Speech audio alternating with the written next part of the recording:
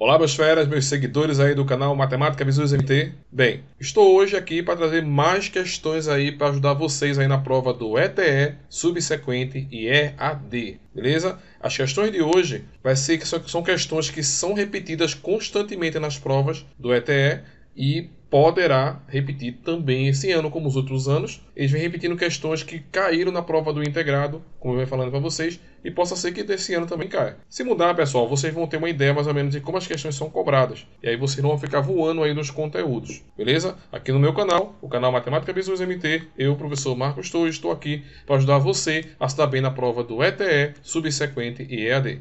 Beleza? Vamos lá para o vídeo. A questão é o seguinte: em um condomínio construído no litoral recifense, foram construídas duas cisternas para armazenar a água. A cisterna A está localizada na parte da frente, na parte de trás né, do condomínio, e a cisterna B está na parte da frente. Então, a A está na parte de trás e a B está na parte da frente. A razão entre os volumes internos da cisterna A e da cisterna B é de 2 para 5. A soma dos volumes internos das duas cisternas é 28 metros. Sendo assim, o valor absoluto da diferença em litros entre a capacidade dessas duas cisternas é de quanto? Então preste bem atenção. Se ele falou a palavra aí na questão razão, vamos estar aqui, ó, razão. Razão já sei que é fração, então não posso esquecer jamais disso. Então ele fala que a razão de A para B, aqui ó, cadê? Razão cisterna A da cisterna B é de 2 para 5. Então A está para B, assim como 2 está para 5. Por enquanto eu tenho só isso. Ele fala que a soma dos volumes, no caso o volume A com o volume B, não pode passar de quanto? De 28. Então até aqui, ó, beleza. Então aqui eu tenho um sistema com fração, que é uma razão, certo? Na parte de proporção. Então presta bem atenção aqui agora. O que eu vou ter que fazer aqui, professor, agora? Eu aqui vou ter que trabalhar assim, ó, meio para os extremos. Vou fazer 5A, 5 vezes A, igual a 2 vezes B, certo? Esse vezes esse e esse vezes esse. Vou isolar o A, vai ficar A sozinho, vai ficar igual a 2B, e o 5 desce. Então vai ficar aqui embaixo o 5. Ficou o A sozinho. Então, aonde aparecer o A, eu vou colocar 2B sobre 5. Então, vamos substituir aqui embaixo. Vou colocar aqui. Então, vai ficar, tiro o A, vou tirar esse Azinho aqui, e vou colocar 2B, certo?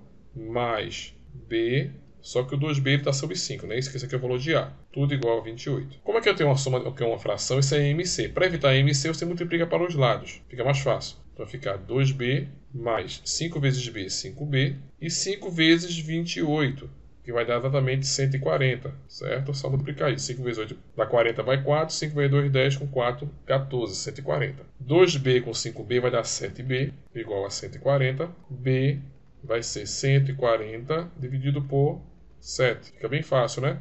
Pega o 14, dividido por 7 vai dar 2, e repete o zero. Então eu tenho aqui 20 metros cúbicos que ele quer volume, não é isso que ele quer, ele quer volume?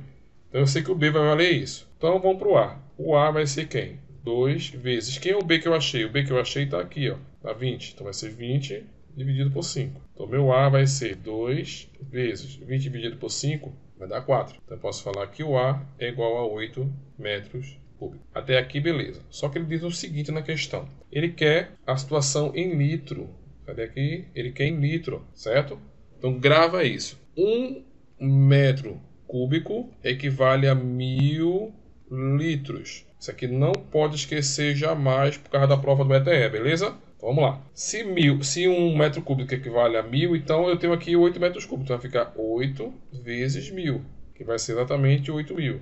8 mil litros. Depois eu vou pegar o 20. 20 vezes mil também, que vai ser igual a 20 mil litros. Aqui tem mil, né? Vou pagar aqui, dou um, dois, três, quatro litros. Então, 20 mil litros. Só que ele fala na questão o seguinte: ele quer a diferença. Aqui, ó. O que é a diferença?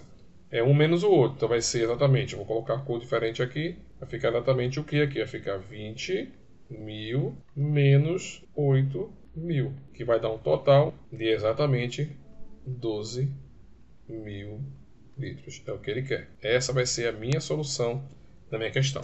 Resolve normal, depois você vai fazer a subtração de um menos o outro, no caso o volume de um menos o volume do outro. Se você já gostou dessa questão, deixa o likezinho aí, tá? Para estar tá ajudando o canal do professor Marcos Torres e tá motivando a gente a estar tá fazendo mais vídeo para vocês. Vamos para a próxima questão, questão 2. Em uma fazenda há 95 animais, entre vacas e cavalos. Se o proprietário comprar mais uma vaca, a quantidade de vacas será o dobro da quantidade de cavalos. Nessa fazenda há respectivamente quantas vacas e quantos cavalos. Vacas e quantos cavalos. Então preste bem atenção. Esse tipo de questão, pessoal, é costumeiro cair na prova do ETE. Então se agarra com esse tipo de questão que cai em prova sim, tá? Então vamos lá. Vamos resolver aqui a questão normal. O que acontece? Se eu pegar as vacas e somar com os cavalos, não pode passar de quanto? 95. Ele falou na questão bem clara isso. Cadê aqui, ó? 95, certo? Os animais. Até aqui, beleza. Aí ele fala assim, cadê? Se pegar aqui, ó, entre as vacas e cavalos, se o proprietário comprar mais uma vaca, então, ó, se eu tiver uma vaca e somar e comprar mais uma, vou somar a quantidade de vaca que eu tenho, mais uma, certo? No final ele fala para mim que a quantidade de vacas será o dobro, duas vezes, o número de cavalos. Quantidade de cavalos está aqui. Mas eu vou repetindo, se eu pegar as vacas, se eu pegar as vacas mais os cavalos, vai dar um total de 95. Eu já tenho o número de vacas, mas eu comprei mais uma. Somando tudo ela, vai ser igual ao dobro do número de cavalos. Então aqui eu tenho outro sistema do primeiro grau. Beleza? O que eu vou fazer aqui agora? Eu vou isolar, eu vou isolar o V. Então vai ficar assim, ó, V igual a 2C. Vou pegar esse 1 e jogar ele para lá. Ó. Menos 1, certo? Aonde aparecer o V, esse V aqui, eu vou colocar exatamente isso aqui, 2C menos 1. Então, vou jogar aqui, ó. Então, vou botar aqui, ó. V mais C igual a 95. Quem é V que eu achei? V vale 2C menos 1. Vou repetir o C igual a 95, certo? Eu só tirei esse V e coloquei isso aqui no lugar dele. Então, vai ficar assim, ó. 2C mais 1C vai dar 3C. 95. Vou pegar esse 1 negativo e passar para lá. Então, vai ficar positivo. Então, 3C vai ser 96. C 96 dividido por 3. 9 por 3 vai dar 3, 3 vezes 3, 9, para 9 dá 0. 6 dividido por 3 vai dar 2. Então eu posso falar que os cavalos são 32. Aqui agora eu tenho dois caminhos para achar a outra resposta. Ou eu posso fazer a subtração de 95 menos 32, ou eu posso jogar na fórmula aqui. Ó. As vacas são 2 vezes. Quem é o C que eu achei na 32? Tirando 1. Então vaca vai ser 64 menos 1. As vacas vai ser 63. Certo? Eu poderia também pegar total, que é o 95, e subtrair de 32 aqui. 32. 3 aqui, 63 do mesmo jeito. Então vocês têm dois critérios aí para fazer esse tipo de questão. Beleza? Então são esse tipo de questão, as questões que eu coloquei para você aqui agora, são questões que são cruciais e caíram nas provas do integrado. E se cair para vocês no subsequente e no EAD, vocês estão aí com a faca na mão e o queijo também. Tá bom? Se você já gostou, dessa informação, dessa dica que eu estou dando para vocês aqui, se inscreve aí no canal para ser notificado de mais vídeos que serão lançados para vocês, beleza? Aqui em cima no card vai ter, vai ter uma lista de vídeos aí para vocês aí com mais macetes, mais dicas para ajudar vocês aí, tá bom? E aqui na descrição também tem vários links também que poderão estar ajudando você a estar bem nessa prova, beleza? Compartilha com o maior número de pessoas e até o próximo vídeo, se Deus quiser.